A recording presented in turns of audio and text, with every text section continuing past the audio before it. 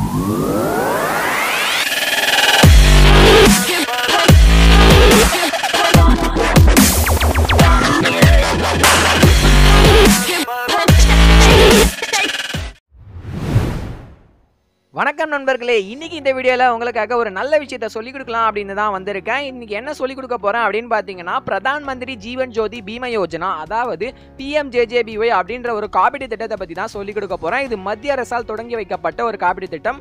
அதே மாதிரி வந்து பார்த்தீங்கன்னா இந்த காப்பீடு திட்டம் மூலயமா நிறைய பேர் வந்து பார்த்தீங்கன்னா ரொம்ப குறைந்த செலவில் எல்லா விதமான ஏழை எளிய மக்களுக்கு வந்து பார்த்தீங்கன்னா பயன்பெறணும் அப்படின்றதுனால தான் இந்த காப்பீடு திட்டம் வந்து பார்த்தீங்கன்னா ரெண்டாயிரத்தி பதினைந்தாம் ஆண்டு மத்திய அரசால் வந்து பார்த்தீங்கன்னா தொடங்கி வைக்கப்பட்டது.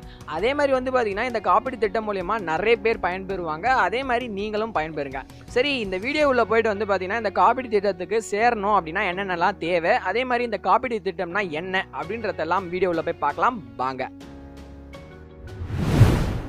இந்த காப்பீடு திட்டத்தில் வந்து பார்த்தீங்கன்னா சேரணும் அப்படின்னு பார்த்தீங்கன்னா பதினெட்டுலேருந்து ஐம்பது வயசுக்குள்ளே இருக்கிற எல்லாருமே வந்து பார்த்திங்கன்னா இந்த காப்பீடு திட்டத்துக்குள்ளே சேர்ந்துக்கலாம்.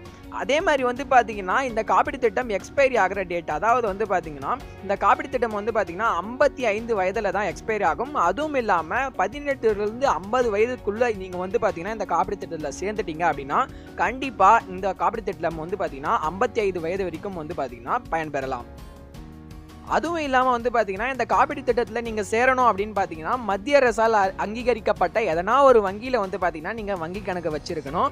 அதே மாதிரி வந்து பார்த்தீங்கன்னா இந்த காப்பீடு திட்டம் வங்கி கணக்கு இருந்தால் மட்டுமே வந்து பார்த்தீங்கன்னா இந்த காப்பீடு திட்டத்தில் சேர முடியும்.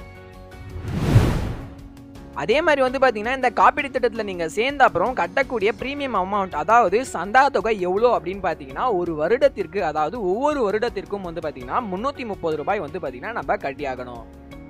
அதே மாதிரி வந்து பார்த்தீங்கன்னா இந்த ஒரு காப்பீடு திட்டத்தில் நீங்கள் ஒரு வேளை சேர்ந்துட்டீங்க அப்படின்னா இந்த காப்பீடு திட்டத்தில் வந்து பார்த்தீங்கன்னா சேர்ந்த அப்புறம் ஒரு வேளை நீங்கள் இயற்கையாகவோ இல்லை வந்து பார்த்தீங்கன்னா ஏதாவது ஒரு விபத்து மூலியமாகவோ இறக்க நேரிட்டால் இந்த காப்பீடு திட்டம் மூலயமாக உங்களுக்கான ஒரு டெத் பெனிஃபிட் அதாவது இறப்பு இழப்பீட்டு தொகையாக இரண்டு லட்சம் ரூபாய் வந்து பார்த்தீங்கன்னா உங்களுடைய வாரிசுதாரருக்கு இந்த காப்பீடு திட்டம் மூலயமா கொடுப்பாங்க.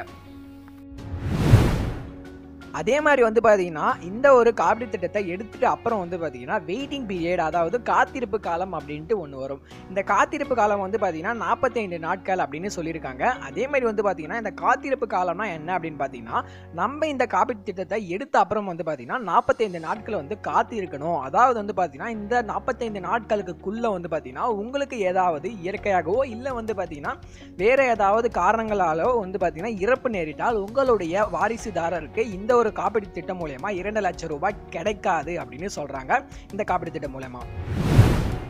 அதுக்கப்புறம் வந்து பார்த்தீங்கன்னா காப்பீட்டை புதுப்பிக்கும் காலம் அதாவது ரினியூவல் பீரியட் எப்போ அப்படின்னு பார்த்தீங்கன்னா ஒவ்வொரு ஆண்டும் வந்து பார்த்தீங்கன்னா மே மாதம் இந்த காப்பீட்டை நம்ம புதுப்பிக்கணும் அப்படின்றதையும் சொல்கிறாங்க அதே மாதிரி வந்து பார்த்தீங்கன்னா இந்த ரினிவல் பீரியட் தான் பாலிசி பீரியட் இந்த பாலிசி பீரியட் எப்போ வருது அப்படின்னு பார்த்தீங்கன்னா ஃபஸ்ட்டு ஜூன்லேருந்து தேர்ட்டி ஃபஸ்ட் மே வரைக்கும் ஒவ்வொரு ஆண்டும் வருது. இந்த ஒரு பாலிசி பீரியட் அப்போ தான் நம்மளுடைய பேங்க் அக்கௌண்ட்லேருந்து இந்த பாலிசிக்கு வந்து பார்த்தீங்கன்னா ஃபண்ட் வந்து ட்ரான்ஸ்ஃபர் பண்ணிப்பாங்க.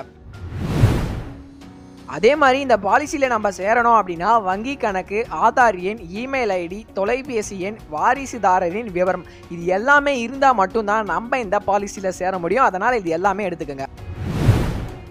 அதே மாதிரி இந்த வீடியோவை பார்த்த ஒவ்வொருத்தவங்களுக்கும் வந்து பார்த்தீங்கன்னா இந்த ஒரு பாலிசியான பிரதான் மந்திரி ஜீவன் ஜோதி பீம யோஜனா அப்படின்ற இந்த ஒரு பாலிசி ரொம்பவே வந்து தெரிஞ்சிருக்கும். இதை பற்றி எல்லாமே கற்றுட்ருப்பீங்க அதே மாதிரி இதுக்கு என்னென்ன தேவை அப்படின்றதையும் இந்த ஒரு வீடியோ மூலயமா பார்த்துருப்பீங்க. இந்த ஒரு வாய்ப்பை வந்து நழுவிடாமல் இப்போவே போயிட்டு உங்களுடைய வீட்டுக்கு அருகில் இருக்க ஏதாவது ஒரு வங்கியிலையோ இல்லை வங்கியால் நியமிக்கப்பட்ட ஏதாவது ஒரு வாடிக்கையாளர் சேவை மையத்துக்கும் வந்து பார்த்து இப்போவே போயிட்டு கண்டிப்பாக இந்த ஒரு பாலிசியை இப்போவே அப்ளை பண்ணிவிடுங்க காரணம் என்ன அப்படின்னு பார்த்தீங்கன்னா இது ரொம்ப ரொம்ப அரிய வாய்ப்பு. இதை இப்போவே யூஸ் பண்ணிக்கோங்க. இதே மாதிரி நிறைய நிறைய இன்ட்ரெஸ்டிங் கண்டென்ட்ஸோட அடுத்த வீடியோவில் சந்திக்கலாம். தேங்க்யூ ஃப்ரெண்ட்ஸ் அதே மாதிரி இந்த வீடியோ பிடிச்சிருந்தா லைக் பண்ணுங்க. இந்த வீடியோ ஒரு யூஸ்ஃபுல்லான வீடியோன்னு நீங்க நினைச்சீங்கன்னா உங்க ஃப்ரெண்ட்ஸ்க்கு எல்லாருக்கும் ஷேர் பண்ணுங்க. இதே மாதிரி நிறைய வீடியோஸ் உங்களுக்கு வந்துட்டே இருக்கணும் அப்படின்னா கீழே இருக்க ரெட் கலர் சப்ஸ்கிரைப் பண்ண ப்ரெஸ் பண்ணிட்டு பக்கத்தில் இருக்க பெல் ஐக்கானை கிளிக் பண்ணி அதில் ஆல்